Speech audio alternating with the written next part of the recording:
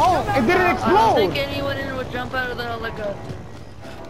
It didn't Let's go, explode. let's go. It's We only have we call 35 minutes. I feel like he's up there. Moving. Don't stick on my snap.